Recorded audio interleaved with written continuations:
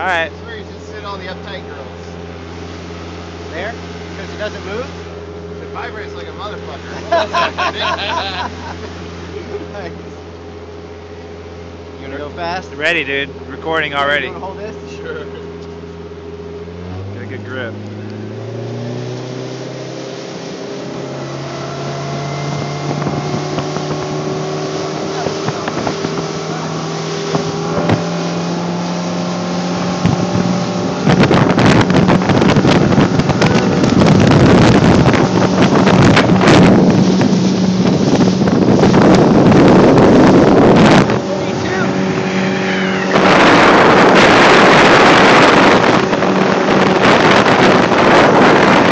Like being on a paper. Like, what are you gonna do?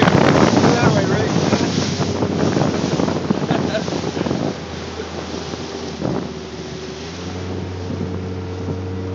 Up.